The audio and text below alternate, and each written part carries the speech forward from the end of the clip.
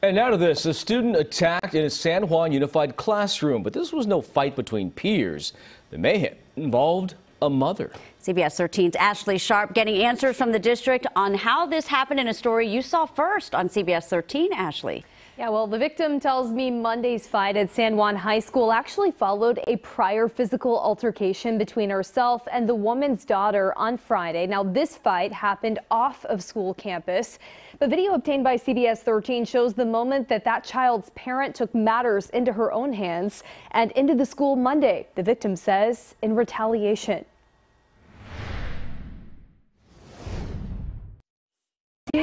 and almost like a like she's holding me. A frightening clash unfolding in a classroom.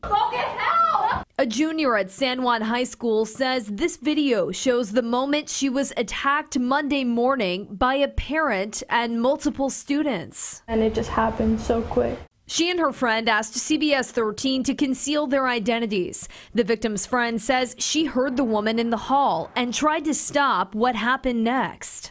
So I went and warned the teacher and I was like, there's an adult here on campus. Yes, an adult that's not supposed to be here. The victim now battered and bruised after a brawl that lasted two to three minutes, saying this student seen throwing punches is the woman's daughter. The mom, she shoved chairs at me and grabbed me, and then she just pulled my hair and kept hitting me in the head. I hopped on top of my friend to cover her body. The victim's mom called CBS 13 Tuesday asking for answers. Because it should have never happened.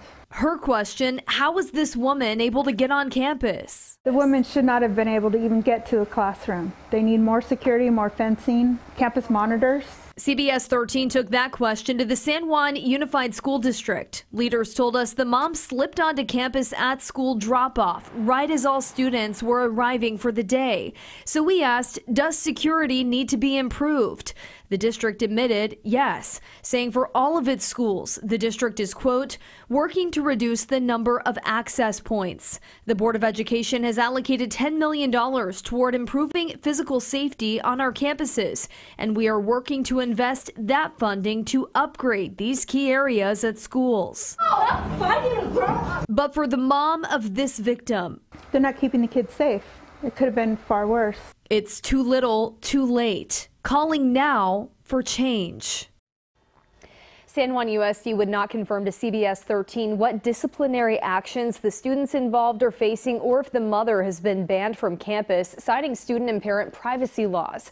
Now, we also reached out today to the Citrus Heights Police Department for information on what charges those involved in the fight are facing. They told CBS 13 it's not yet finalized, and we'll get those answers later this week. Yeah, lots of lingering questions. Ashley, thank you.